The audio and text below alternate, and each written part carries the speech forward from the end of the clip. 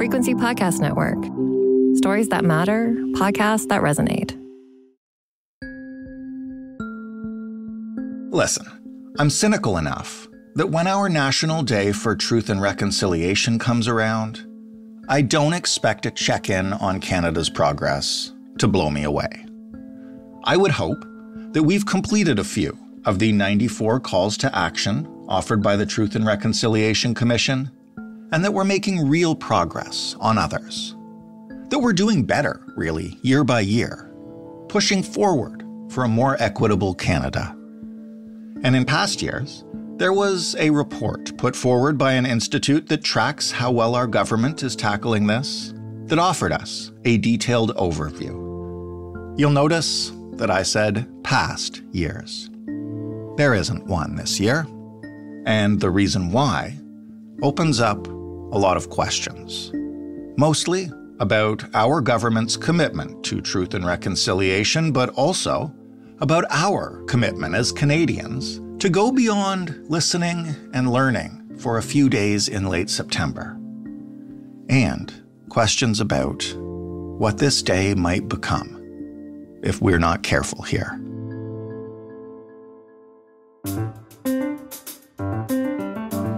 I'm Jordan Heath Rawlings. This is The Big Story.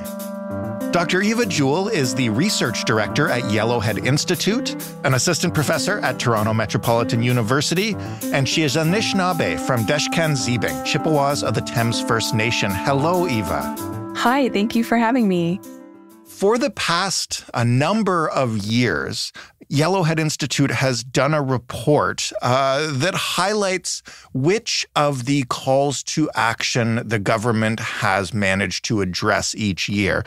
And I ask you this uh, because in the 2021 report, three calls to action were completed that year, then two calls to action in 2022, and zero in your 2023 report. What happened that year? Yeah, so it was a very disappointing report, to say the least, um, coming off of the, I guess, anticipation of all of the calls to action that were completed in the prior years um, before 2023. To see that none were completed was a big letdown.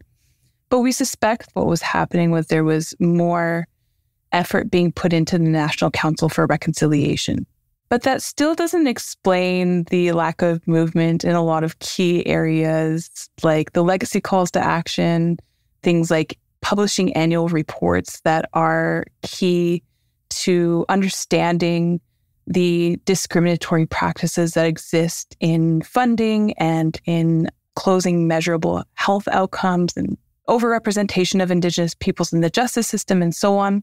So we suspect that there was a lot of effort being put into this national council as kind of the magic uh, impetus of reconciliation, which we have many reasons to worry for that as well. And we can talk about that for sure. But first, I want to ask you about when or if uh, we will see a report this year. So, this was the second year in our five years of authoring the report that we were reporting on no calls to action completed. And it was feeling very futile. It was feeling very embittering and angering to be writing reports on nothing, analyzing nothing year after year, right? And so, particularly when three calls to action were magically completed in, in three weeks alone in 2021. Mm-hmm. So, uh, we decided to pause the project. Um, we we are not really interested in you know kind of becoming embittered cynics, or at least I'm not. I should speak for myself. I'm interested more in investing my energy and resources in topics that are of importance to my community, and I can't. We can't, you know, as Indigenous people, hold our breath for reconciliation. So, at the end of the day, I want to put my effort and my energy into projects that are um, and into research direction at Yellowhead Institute that support Indigenous jurisdiction and reclamation and restoration.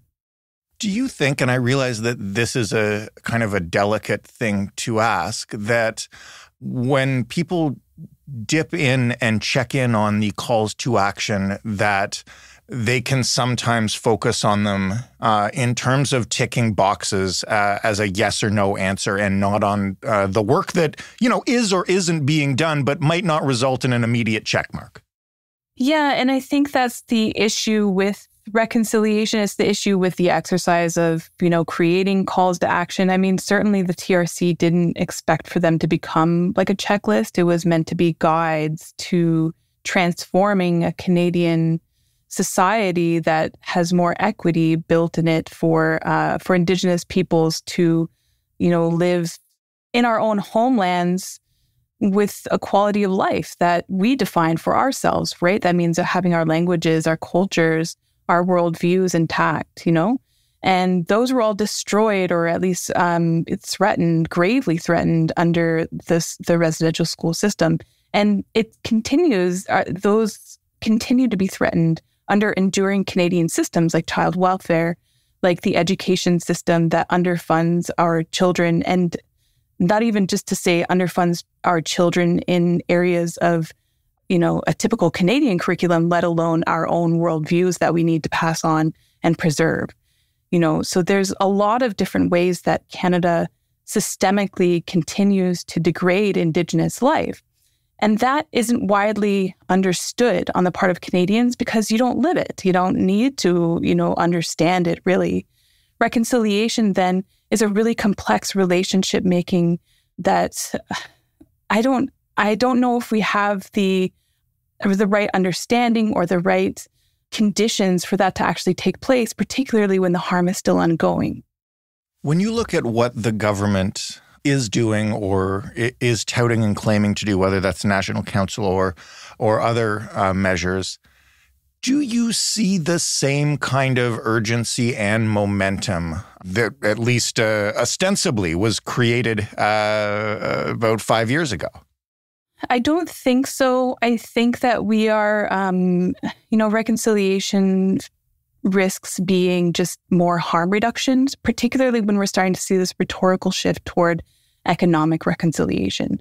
This is a worrying trend that I see happening with the popularization of uh, I have reconciliation was always popular, but with it being um, more, you know, ingrained in Canadian society through the National Day for Truth and Reconciliation. So now we've got the corporate sector or right-leaning politicians calling for economic reconciliation, which is to say, creating conditions for Indigenous peoples to be more aligned with a capitalist system.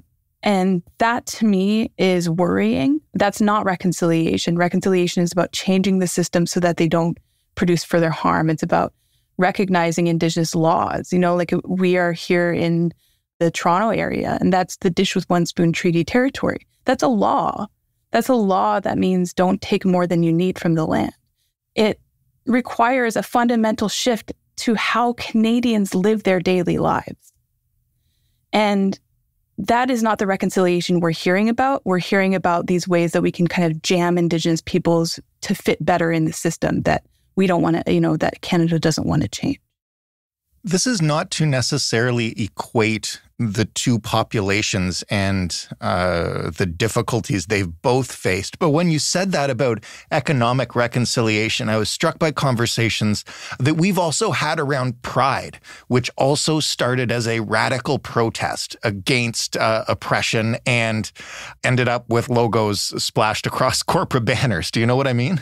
100%. Like Marsha P. Johnson was throwing a brick at Stonewall. Yeah. You know, she wasn't like, I want to see my colors on your bank. you know, like that wasn't her end. Her end goal was like liberation. How do we reframe the conversation that's happened now? And I say this recognizing and maybe even apologizing for the fact that we are going to air this conversation on the National Day for Truth and Reconciliation, which can sometimes make it feel I don't know, tributary and corporate. I've always been of the mind that being involved in the conversation of reconciliation is really important, even if we're highly critical of it, because that's the way that the Canadian public is framing the discussion around their relationship with Indigenous people. So it's like we kind of have to be here talking about it on these days, like National Day for Truth and Reconciliation or other days like Solidarity Day or Indigenous Peoples Day and so on these are the times when the Canadian public has shifted their focus to this topic. And you're right, it does become tributary. And so in that way, I wonder about its sustainability as a as an actual method of transformation, as an actual method of restoration of indigenous jurisdiction or indigenous liberation, you know, and indigenous nationhood and so on. It's definitely got its limits. However, I think there was a bit of wisdom in the in the calls to action in another way because the commissioners ensured that at least once a year we are talking about it. And before 2021, nobody was really talking about it to this extent. And that's what was so frustrating about writing the reports every year before 2021 was we would release the reports on the anniversary of the TRC's final report on December 15th to like little, you know, attention. It would just be like, oh yeah, okay. Uh, calls to action, what are those, you know? And we would be like, you know, frustrated, like, hey, you said you would implement all of these. So following 2021 and the revelations at Kamloops and Marieval and other residential schools and that implementation, there's at least a conversation about it that's public. And I think that's that's we got to say that that's something, even if it's not, you know, the be all end all. It's not the solution. It's a doorway, it's a step to it.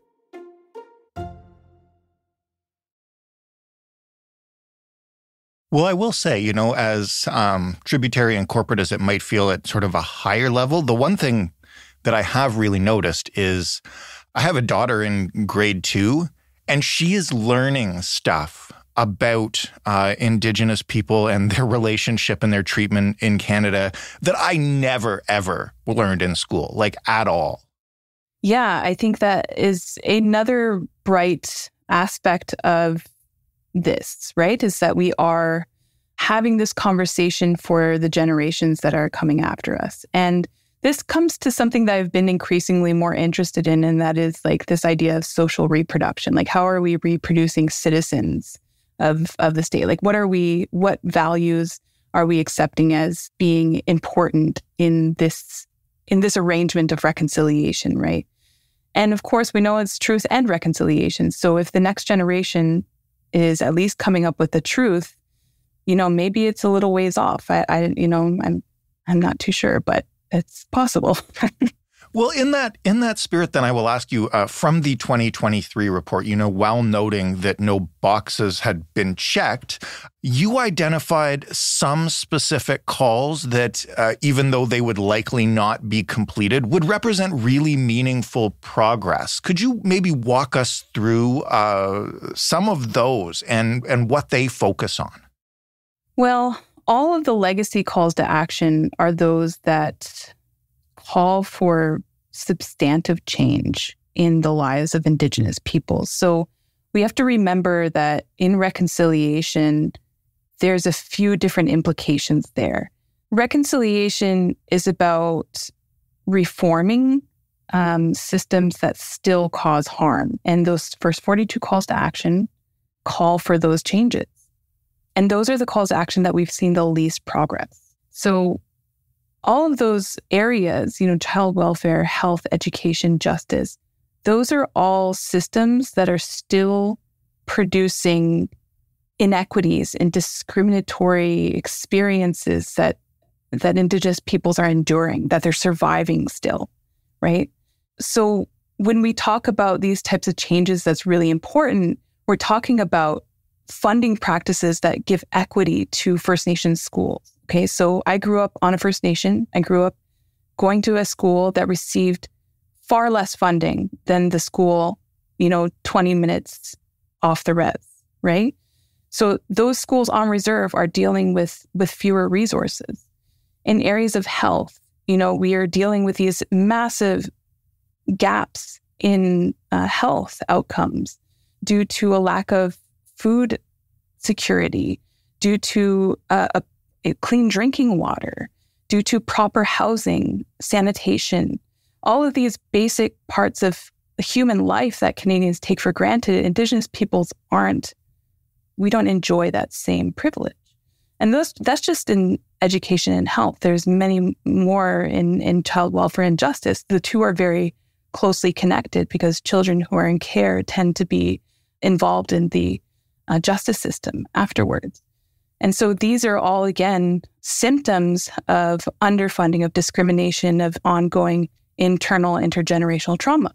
Now, I could sit here and tell you all the different ways that Indigenous peoples are experiencing, you know, lower quality of life, but that really doesn't tell you much about who we are as Indigenous peoples. That tells you what the system is doing to us. So, what's really, you know, who we are as Indigenous peoples is our our ways of life, our perspectives, our philosophies, our culture, our language, all of which we are amidst the many different ways that our physical life and well being are threatened, we are still fighting to preserve all of that as well. And so these are all, you know, purposeful outcomes of a system of colonialism. That's what we mean when we're saying the system is still hurting us, it's still harming us. It didn't, you know, it didn't end that the Canadian government closed those residential school doors and everybody went home and it was okay, right? On that note, a week ago, leading up to National Truth and Reconciliation Day, uh, the Canadian Medical Association issued a formal apology. And I wonder what your thoughts are on those kind of apologies from uh, organizations in general and what kind of impact they have on the very real experiential problems uh, that you just described? I think that it's possible they will bring an awareness if the, you know, health staff or healthcare sector is made abundantly aware of its role in continuing the harm, right? And, you know, when we talk about big systems, we tend to depersonalize it. That these are actual people causing harm in these systems. It's a nurse. It's a nurse causing you harm. It's a doctor not believing you. Right. It's not a letterhead. it's exactly. It's not just like a group of, you know, this big scary faceless system. These are actual Canadians populating these systems that perpetuate the discrimination. And so as long as these uh, organizations are producing these apologies and will they commit to the change that the calls to action call for, which is to educate its sector, its professional organization on their role in perpetuating colonial behaviors. Things like paternalism or having just an inherent discriminate, uh, discrimination whereby, you know, certain care is provided to indigenous individuals versus, you know, a non-indigenous individual, which we saw in the case of Joyce Echaquan, right? And so I think that, you know, it's a gesture, it's, but it's not the end. We'll get to the government in a second, but first, after years of uh, learning and listening, I guess, uh, what can the Canadian public actually do to create some momentum on the priorities that you just mentioned? It's a tough question because some of the most material and tangible change that can happen happens in those structures. So it happens in policy, right? And so what that would require of a Canadian public is to become active within like a community political setting. You know, it's possible that by organizing and assembling to pressure a political representative, if that were done, you know, throughout Canada to pressure political representatives to follow through on certain calls to action, like repudiating the doctrine of discovery, which the doctrine of discovery forms the basis legal argument that Canada makes over First Nations and Indigenous lands and justifies resource extraction in our territories, right? So we're talking about a public that paying attention, a public that isn't apathetic to what its country is doing, right? And that to me is particularly when we're in an age where there's so many demands on our attention feels like a really monumental, you know, demand of a public that, you know, benefits from that structure. But if we see the connections between something like the Canadian state and say what's happening in Palestine, right? You start to see that it's kind of interconnected throughout the whole world. And they, these systems rely upon one another. And it's at some point, you know, it's going to be impacting somebody else in the globe, but it's happening here too. So it's like about gathering uh, all of that energy and putting forth what you can to a cause that you think has the most impact, right? And that I don't know, it's it's a big question. Yeah. And when you talk about using that power politically, and you look at the fact that uh, we're currently, whether it's next month or next year, very close to a new federal election in Canada. Obviously, we don't need to go over the fact that uh, the government is not very popular right now. This is a liberal government that, actual results aside, has talked a very impressive game on truth and reconciliation. And, you know, to your point, made some progress, especially in the early years. Uh, what do you think of what this government still might do on this issue and what uh, your thoughts are on likely a conservative government uh, replacing them at some point in the future? There's always a pendulum swing right? In in settler politics, they swing left, they swing right. Right. And we've endured under all of them. Usually under the right governments or under the conservative governments, we get pushed into these, you know, uh, systems of austerity. More harms will occur, more more budget cuts. All of these things, you know, things that we're not really uh, that we're not stranger to. Uh, I think under a conservative government, we will definitely see a shift toward economic reconciliation. That will be the sole, like, that will be the main way that reconciliation will be framed. The calls to action will likely be, you know, the, their importance, particularly in the in the government, might be abandoned. I'm not sure how the National Council for Reconciliation would fare under a conservative government. They might see a very minimal budget they are endowed, so they have at least a bit of money for a, a while. It would definitely swing more toward economic, capitalistic endeavors. An ongoing liberal government would probably continue down the path that they're going, the National Council for Reconciliation, and it would still continue the uh, gestures, I think, of reconciliation. And we would then still be talking to you in a couple years' time about uh, how many First Nations still have boil water advisories, for example? You know, I think it's just under both. Like this is the system of Canada. It doesn't have a party. This is this is the system that we experience. It. That's the thing. Is like reconciliation isn't a partisan issue. It's a it's a colonial issue. It's a settler colonial issue, and that's Canada's a settler colonial state, and it's just going to be like that until Canada decides that you know it's actually going to recognize Indigenous jurisdiction and hand over the resources that are owed to us. Well, to end that on a hopeful note, maybe that is, you know, to your point earlier, the generation that comes up learning about the truth from the start, as opposed to having to confront their own false ideas later in life. True. Yeah. Eva, thank you so much for this. Always appreciate your time. Thank you for having me. Dr. Eva Jewell, Research Director at Yellowhead Institute. That was the big story. For more from us, you can head to thebigstorypodcast.ca. You can plug in Eva's name in the search function and find her past appearances on this show. And if you have any feedback for us, please hit us up at hello at thebigstorypodcast.ca or by leaving a voicemail when you call 416 935 5935. The Big Story is available in every podcast player and on your favorite smart speaker if you ask it to play the Big Story podcast. Thanks for listening. I'm Jordan Heath Rawlings. We'll talk tomorrow.